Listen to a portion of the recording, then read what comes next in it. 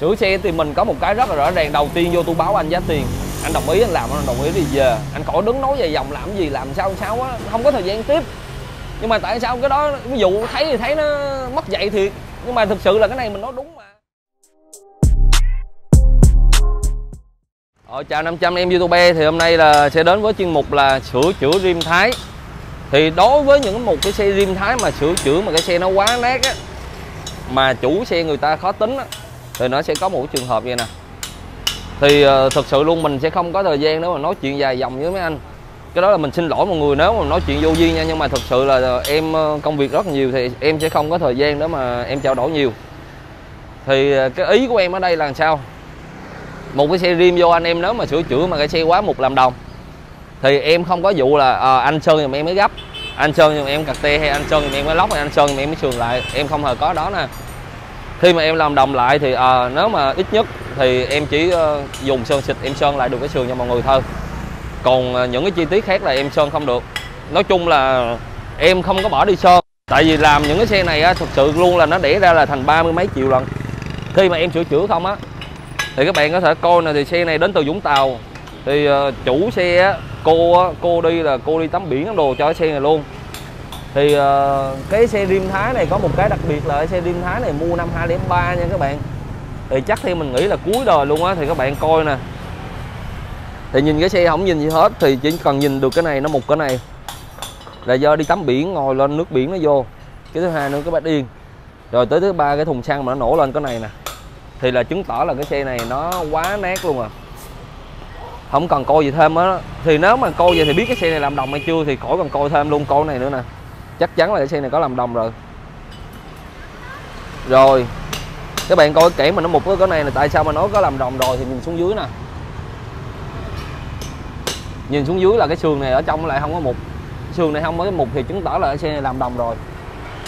Đó, thì bây giờ là mình sẽ làm gì? Thì bây giờ xe này mình sẽ mở ra hết toàn bộ. Và mình nhận cái xe này là sửa chữa lại. Mình có ghi một câu nữa là sửa chữa lại chạy ngon ngon về bánh phuộc phiết tất cả mọi thứ. Nhưng mà nhưng mà cái gì? Nhưng mà nha, là cái xe nó vẫn cũ vậy, nó không đẹp, nó không mới nha các bạn. Phải hiểu rõ điều đó nha, đang nhận là sửa chữa chứ không phải nhận dòng mới. Mình dọn mở dọn mới một cái xe rim là từ 7 tháng đến 8 tháng và từ 60 đến 70 triệu cho một chiếc xe rim rồi thì giờ là mình gỡ xe ra nè, xe này gãy canh hông là làm đồng lại rồi đó, nó gãy vô đó, người ta hàn lại là một nè ở đây là đã làm đồng lại rồi, nhưng mà nó vẫn một một hết ở dưới nè. Một lên tới đây luôn.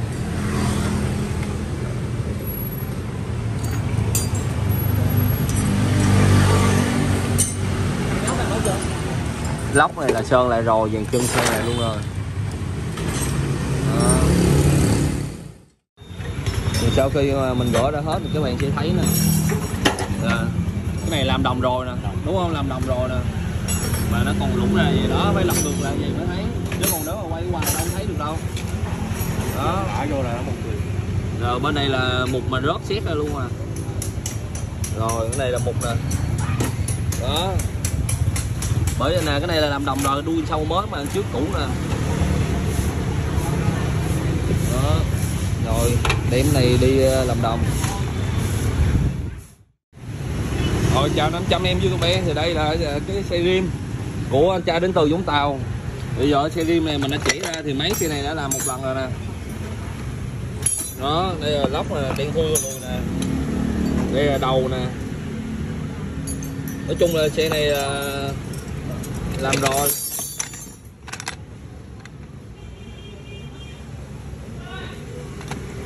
Xe này dán keo nồi bích chịch luôn nè dán keo rất nhiều, thì nói chung giờ mình cũng sẽ rửa sạch sẽ lại cho anh trai luôn, sẽ thay đồ dinh đồ lại cho ảnh. Rồi, chào mọi người ha. Rồi mình kiểm tra cây giòn luôn. Cây là kiểm tra thử có rẻ không, nó đem dĩa đề làm anh các bạn. Nói chung xe này khỏi coi. Quá nát rồi.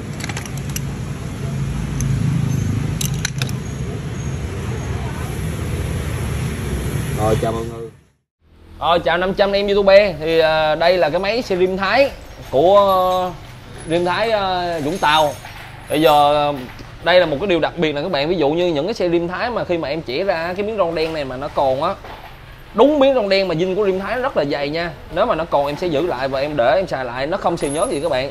Bởi sao em biết? Bởi vì em đã xài và em làm cho ba bốn xe rồi nó không bị xì. Thì em mới dám khẳng định điều đó. Thì bây giờ em sẽ làm điều này trên xe này và chính xe em cũng là em làm vậy. Cái rô này cực kỳ giá trị mắc tiền lắm các bạn. Rồi sau khi mà mình làm gì xong thì uh, em rửa sạch sẽ như xe dọn luôn nè các bạn. Theo cái ờ, ý muốn của anh trai thì ví dụ mình rửa thêm thì mình tính tiền thêm thôi. Còn cái nhông bơm nhớt này nè. Em trai uh, quay sáng đây nhông bơm nhớt này răng nó quéo hết nè. Thì uh, mình sẽ thay bằng một cái nhông bơm nước uh, bơm nhớt chính hãng luôn. Thì mình sẽ so sánh hai nhông cho các bạn coi các bạn thấy cái nhông mới là răng nó thẳng không? Nhông này nhông nó bị cong hết. Đó. Rồi sau cái đó thì John đó là em sẽ ờ, đi thay tay John em thay bạc đạn dơn NTN anh Gia Băng. Rồi sau khi thay ờ, bạc đạn John xong thì thay full bạc đạn máy NTN sau khi thay full bạc đạn máy xong thì mình sẽ thay full bộ số mới. Khi mà thay bộ số mới stream á thì em sẽ thay một cái phe báo số này Made in băng luôn. Thì chỉ có ờ, cái uh, stream nó mới có cái cái phe đồng báo số này thôi.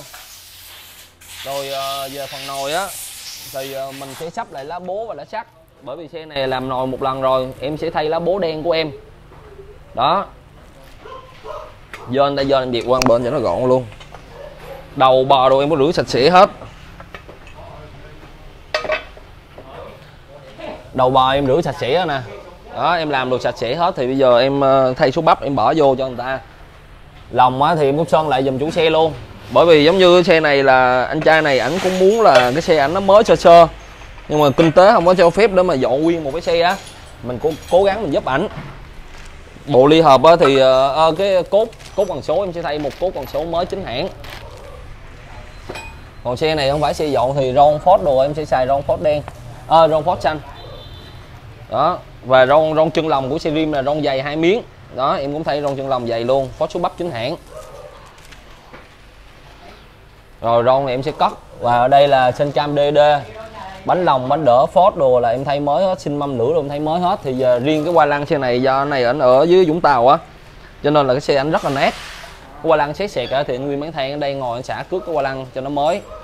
Rồi, về chào mọi người. Cảm ơn mọi người rất là nhiều. Tạm biệt. Rồi sao dẹp vô hết vậy dẹp đi giờ chứ sao 9 giờ rồi mấy ông nội. Mai đáp. Ở chào 500 em youtube. Thì đây là sơ bộ khoảng 40 phần trăm cái xe này mình dựng lên thì ờ, cái xe rim này á, là cái xe rim mình sửa chữa.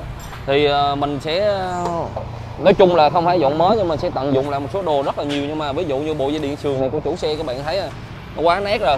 Bây giờ mình xin phép là mình sẽ thay bộ dây điện sườn mới. Còn đây là cái sườn sau khi mà mình làm đồng xong lại á thì bây giờ mình sẽ tiến hành mình ráp lên cho xe người ta. Thì ở đây á, là mình sẽ thay là chống đứng là mình làm lại luôn. Mình tận dụng chống đứng lại cho chủ xe đó. Chủ xe khỏi tốn tiền bởi vì chống đứng rất là mắc, tới ba, bốn trăm ngàn để chống đứng lận.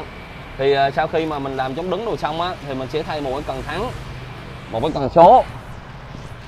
Dây ga, dây e thắng km.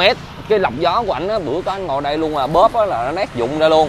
Rồi mình thay một cái ổ khóa, một cái mica đồng hồ, một cái chụp mori một cục mô bên sườn của rim. Đây là đúng mô bên sườn như mình dọn rim thái gì đó. Mô sườn của anh đứt nét rồi quá, nói chung vậy như điện của ảnh lên đường hết đó thì mình sẽ ờ, thay lại môn sườn mới của rim thái. Nói chung khi mà mình áp lên những cái xe mà sửa chữa nhiều á mình luôn chú trọng vô dàn điện của nó bởi vì để tránh trường hợp mà trục chặt dàn điện người ta đi người ta phải dắt bộ. Sau đó là mình sẽ thay bao tay dây ga à, bao tay. Đó cái này à, mình thay cặp nẹp sườn mới.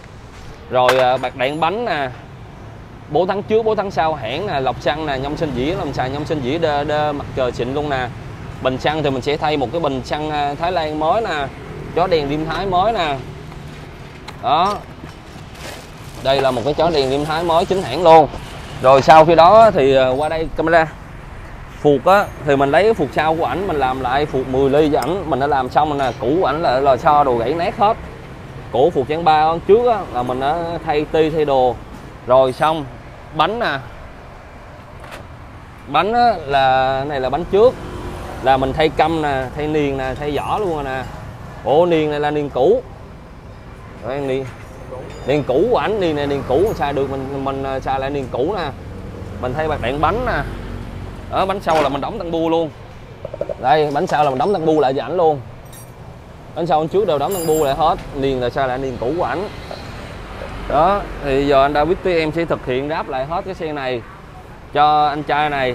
Và cái yên này thì chắc chắn mình phải thay cái yên này nó mục quá rồi thì mình sẽ hỏi ý kiến chủ xe là xài cái yên shopee xài cái yên liêm thái bởi vì cái yên á mua cái yên liêm thái mới nó rất là cao tiền. Rồi đó thì uh, lát nữa mình bỏ thêm gì vô mình sẽ giới thiệu cho các bạn coi. Chào mọi người. Bây giờ đầu tiên xe này em làm cái gì? Thì xe này em chưa cộng tiền. Tới lúc mà em làm clip giao xe luôn em sẽ cộng tiền. Thì xe này em thay là em làm nguyên cái sườn. Em làm đầu nguyên cái sườn em sơn sườn lại dùm chủ xe. Còn dàn áo em thay dàn áo mới em thay là một cái cần thắng nè một chó đèn trước nè. Tới uh, tao ờ, chỉ vô nào quay cái đó một chó đèn trước nè. Một cặp bao tay nè. Một cái lọc xăng nè. Một sợi dây ga nè.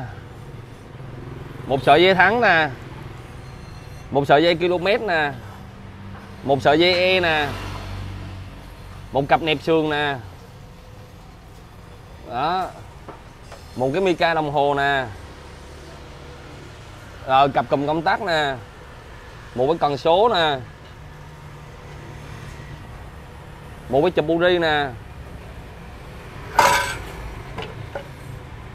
Bốn tháng trước, bốn tháng sau nè. Năm cái bạc đạn bánh nè.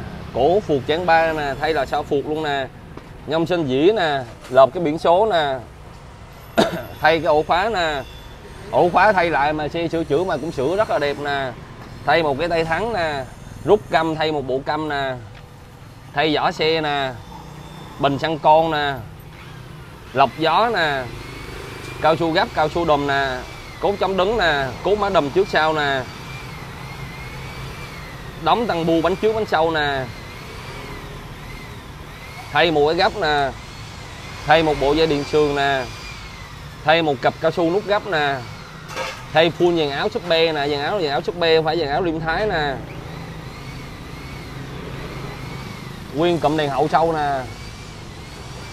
Làm phục sau lên ti 10 ly nè. Gắn một cái báo xăng ở dưới yên nè. Thay một sợi dây thang nè, thay một sợi dây hơi máy nè. Thay cao su đầm nè. Sờ tóc tay thay nè. Cao su ghét chân trước nè, thay nè. Cao su ghét chân sau thay nè. Một bộ tem đêm thái nè, một cái yên súp be nè, yên này yên súp be nè. Thì bây giờ xong nè.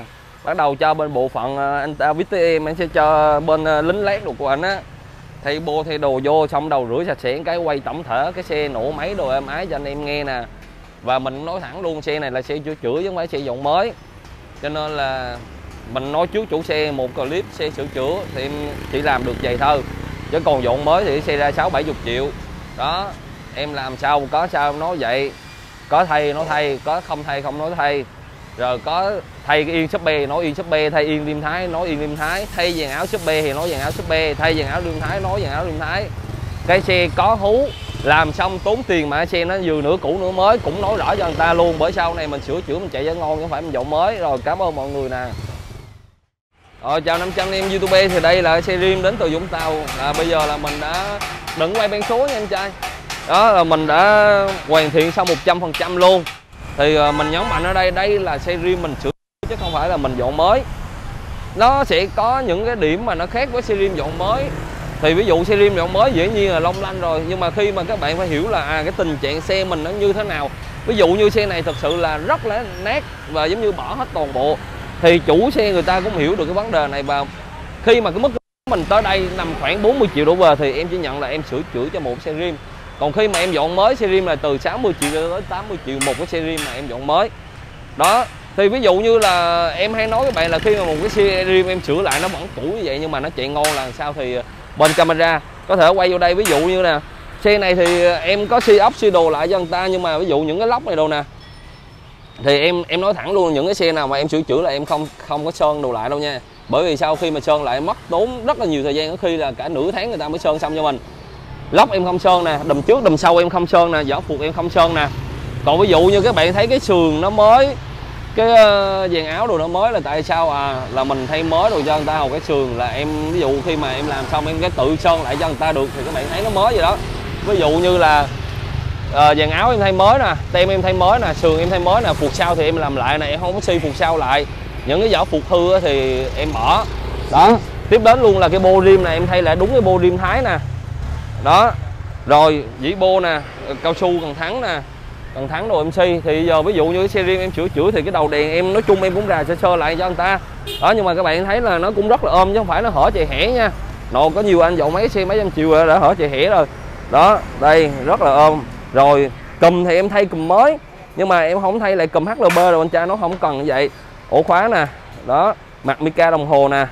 Rồi tiếp đến là ba ga em đổi cho ảnh cái ba ga khác rồi em gắn cái móc đồ cho ảnh. Đó cản sau thì nguyên cản của ảnh một thì vẫn đỡ lại luôn bởi vì nó vẫn còn xài đường thì em đỡ lại rồi đỡ tốn chi phí. Rồi cái yên thì em thay cái yên super cho nó vừa rẻ tiền mà nó vừa ngon nữa. Rồi đây là cái cản đây cản mục nè nhưng mà nó vẫn còn chắc lắm nha các bạn cứ ngắt luôn á. Ừ, mục đây nè. Thì để cho các bạn hiểu là à, một cái xe riêng mình sửa chữa nó sẽ như thế nào nó ra làm sao còn cái xe riêng mình dọn mới nó sẽ như thế nào nó ra làm sao? Nó anh chờ anh chút luôn đi. Chờ em chút luôn nha anh. Đó máy móc đồ là giờ em ái thì giờ cái xe này có hú. Nhưng mà mình cũng giải thích rõ ràng ví dụ khi mà làm hú vậy cái máy này em đang ráp là 8 triệu nhưng mà anh muốn hú thì dĩ nhiên nó phải mắc tiền hơn và anh muốn thay bồ lửa nó sẽ mắc tiền hơn luôn giải thích rõ ràng với người ta. Rồi tới đây. Ờ chủ xe tới luôn rồi. Thì uh, lét quay chủ xe một cái luôn bây giờ đỡ uh, cho chủ xe chạy thử đồ một cái trước cái đã. Ờ chào 500 em youtube thì uh, nhà anh đâu anh? À, quận 7 quận 7 nói chung là mấy ai mà sửa xe mà ở trong thành phố hoặc là ở củ chi ở môn bình dương đồ làm xong là mình giao liền hết. Làm xong là giao liền và bắt buộc lấy liền luôn. Bởi sao đầu tiên là chế độ bảo hành tại vì khi mà tôi làm bất cứ cái gì ra làm bảy tám trăm ngàn ba bốn trăm ngàn hay gì đó thì tôi đều bảo hành hết hoặc là ba mươi mấy triệu, mười mấy triệu, hai mấy triệu như xe riêng này tôi đều bảo hành. Thì ví dụ như là khi mà làm xong thì mấy anh cứ lấy xe về mấy anh đi. Đi liền tại sau, ví dụ như là anh đi bởi vì xe là xe của anh. Rồi ờ, anh chạy như thế nào là cấp của anh nữa. Thì cho nên khi mà làm mỗi xe xong là em bắt buộc em giao liền cho anh. Để anh chi? Để ví dụ anh chạy, anh thấy là tại vì anh chạy là sẵn anh rô đai luôn. Chứ giờ anh đỡ đây nhiều khi em đâu có nhiều bằng anh đi làm được, tại vì nhà anh dưới Vũng Tàu anh đi làm mà một ngày cả 10 cây số anh đi từ đó đi qua đây rồi qua lại cũng phải hai chục cây rồi đúng không? Thì xe xe anh nữa anh chạy à, nói xăng cộ thấy hao. Nồi bắt không bắt hoặc là anh chạy lô đai giùm em luôn. Thì dĩ nhiên là mình giao liền. Đó thì ờ, cái xe này cũng vậy mình làm xong là bữa giờ em làm là mấy ngày anh? Bốn năm ngày không? À, 4 ngày 4 ngày. Mình làm là 4 ngày. À, làm đà, làm đồng xe hai ngày. À, ráp cái xe hai ngày là xong là giao liền. Bởi vì ờ, đầu tiên trước khi giao là anh trai này là anh ở dưới Vũng Tàu lên nhưng mà anh công tác ở trên này, anh đi làm là từ bên quận 7 anh đi làm qua đây thì nói chung một ngày anh đi làm khoảng 20 cây hoặc gần 30 cây. Thì cho nên mình sẽ giao liền cho anh để mà anh đi.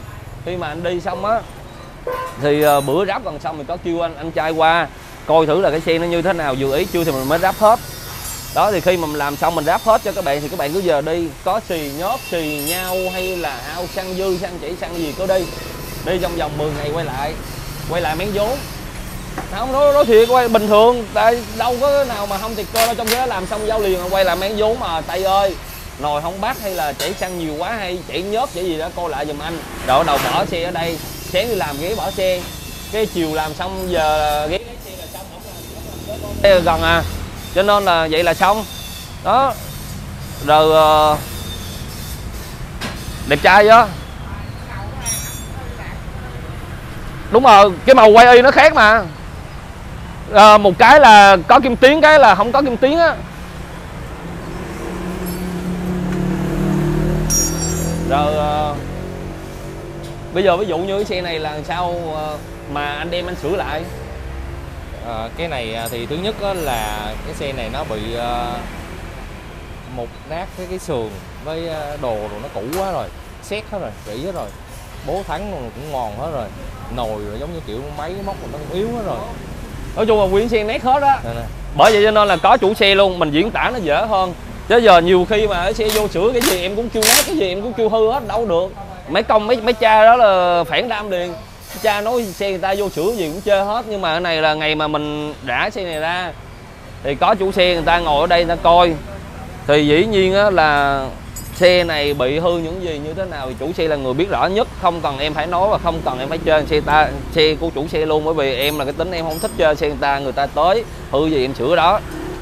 Em, nhiệm vụ em là phải tư vấn kỹ cho anh đó là sẽ bỏ ra là khoảng nhiêu đó tiền để mà sửa chữa. Và trước khi mà ảnh vô luôn ảnh vừa chạy tới tiệm là mình đã nói là cái xe này sửa chữa là sẽ mất đó đổ về nhưng mà xe ảnh là có một số đồ.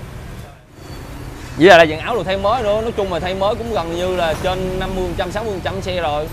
Đó. Nhưng mà cũng tư vấn luôn là khi mà làm như vậy á, thì cái xe nó sẽ nửa cũ nửa mới. Nhưng mà đổi bù lại là cái xe chạy, chạy đầm là ngon Thì mình tư vấn kỹ.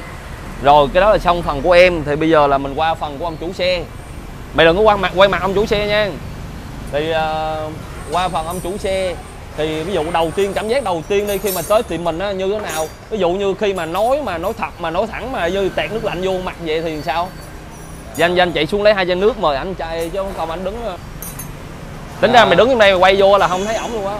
Nói chung á là có mến mộ theo dõi ờ, cái tiệm với lại ờ, cũng ờ, đam mê cái này nên là mới cũng tìm hiểu rồi mới tới đây sửa cho nó giống như đạt được cái ờ, yêu cầu của mình đó thì uh, sửa xong thì cũng chẳng có chạy thử rồi thì thấy nó hài lòng về cái cái cái giống như cái yêu cầu của mình đề ra từ lúc đầu trước khi sửa.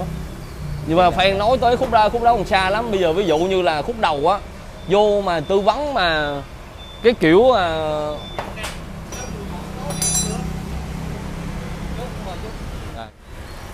xin lỗi bạn nha tại có chặt chút. Thì uh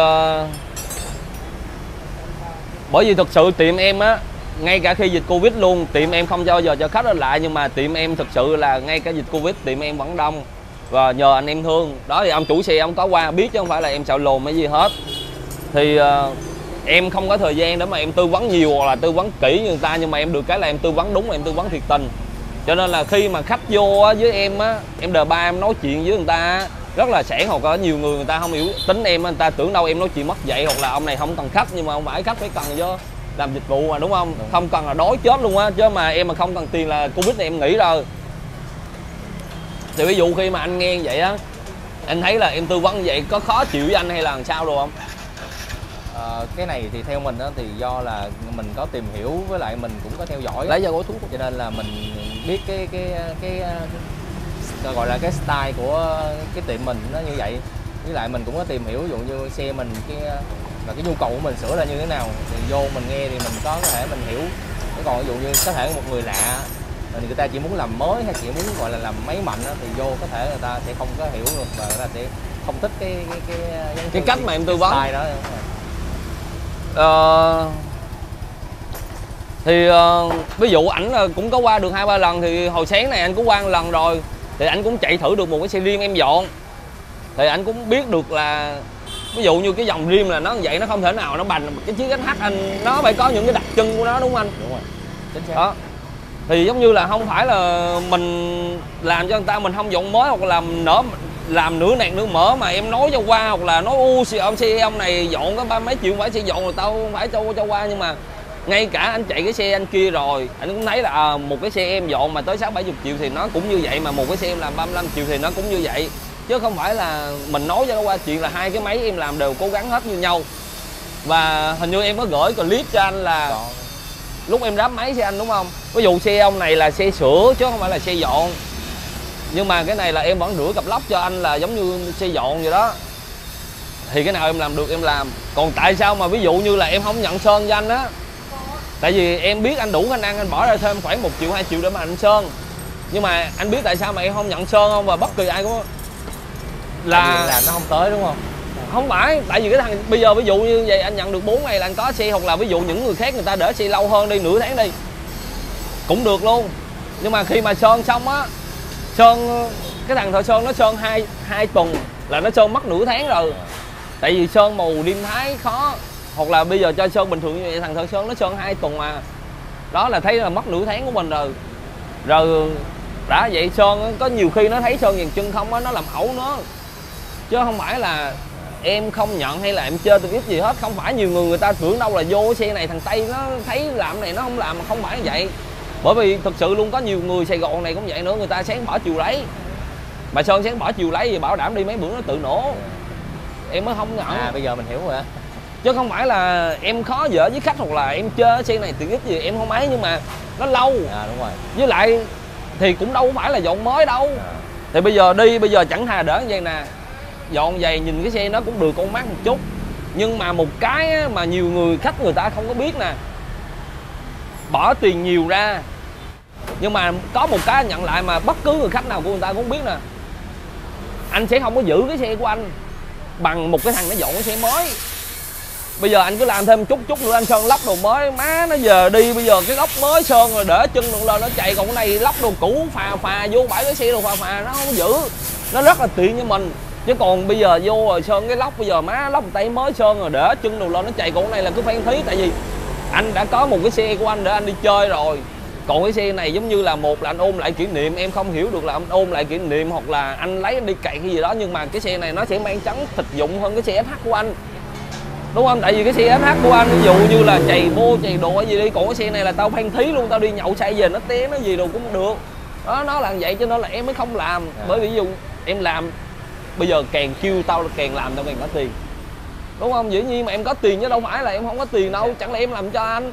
Chứ không phải là em chơi hoặc là em khó khăn đâu. Nhưng mà nhiều khi người ta không hiểu và em không có thời gian để em ngồi. Thì hôm nay là covid thì tiệm không có khách được nhiều em cũng ấy anh vậy. Đó em chia sẻ chứ không phải là em khó khăn gì cái vấn đề đó À, nhưng mà trong cái quá trình sửa thì có nói rõ ràng ví dụ như sửa chỗ nào thay chỗ nào tận dụng được cái nào á. Rồi ví dụ như cũng có trao đổi qua lại hai ba lần á thì mình thấy cái số đó là số hợp lý. Thì nó ví dụ như nó có rõ ràng chi tiết là cái nào cái nào cái nào thì mình thấy nó hợp lý.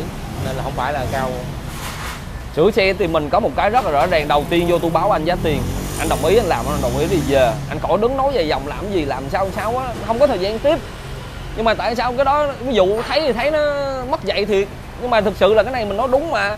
Nhưng mà ví dụ, tại sao là vậy là đầu tiên dính vô là cái sườn xe ảnh quá một cái thứ hai nữa là ví dụ xe anh có thể xài lại một số món một gì đó.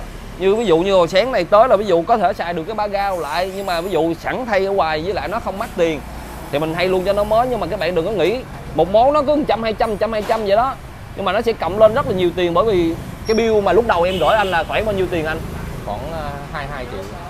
Là giống như lúc mà anh bỏ xe qua ngày thứ hai thứ ba gì đó là mình có báo sơ cho ảnh một cái bill là mình có nói rất rõ là xe anh là sẽ khoảng nhiêu đây tiền thì ảnh tự cộng lại là khoảng 22 triệu. Nhưng mà mình cũng nói rõ luôn là còn những cái lặt vặt nữa nha anh. Cái này là giống như những cái món mắc tiền mà em nhớ trước em tính cho anh chứ còn những cái món mắc tiền nữa là nó cũng nhiều lắm đó. Anh thấy mấy cái món kia vậy ơ, mấy cái món nhẹ tiền ví dụ trăm hai trăm trăm hai trăm nhưng mà nó sẽ cộng lại rất là nhiều. Và những cái đó là những cái lặt vặt ví dụ cao su si ốc hoặc là cái gì đó. Nói si ốc si vậy chứ thực sự nhưng mà mấy bữa mà đang đáp qua cũng thấy ốc là ốc si trên xe anh cũng có đủ em cho những con ốc mà em dọn xe đồ em lấy em gắn lên. Thì em không tính tiền mấy cái đó. Đó là cái đó mình có sao mình nói vậy. Đó thì là ví dụ như là cộng mà cái cộng tiền cố định mà những cái món mắc đi hoặc là những cái món mình nhớ trước á, là nó đã 22 triệu rồi. Thì ảnh đây là cái câu hỏi mà mình thắc mắc nhất nhiều người khi mà người ta sửa một cái xe mà nhiều tiền mình coi thử người ta có suy nghĩ gì giống như là người ta có hài lòng hay không hoặc là người ta có thấy nó quá mắc hay không. Thì bây giờ chính cái câu trả lời của ảnh đưa ra là à, làm cái gì ghi chi tiết rõ ràng cái đó. Rồi mình cũng có báo trước rất là rõ với ảnh thì dĩ nhiên hợp lý thì người ta làm không hợp lý thì người ta không làm. Anh bao nhiêu tuổi anh? 37 ổng 37 tuổi rồi ổng lớn mình 4 tuổi.